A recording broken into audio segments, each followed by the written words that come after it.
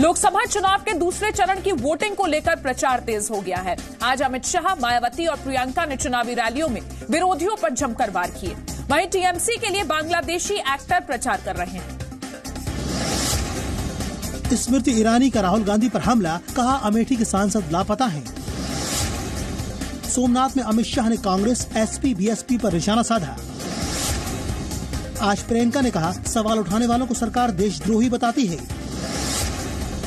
मुंबई में उर्मिला मातोंडकर की रैली में हंगामा हुआ। मायावती ने कहा, चौकीदार के नाटक से मोदी सरकार नहीं बचेगी। बांग्लादेशी एक्टर फिरदौस ने टीएमसी के लिए वोट मांगे।